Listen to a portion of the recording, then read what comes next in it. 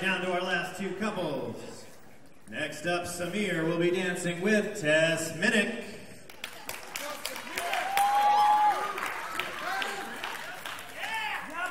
What are we dancing to, guys?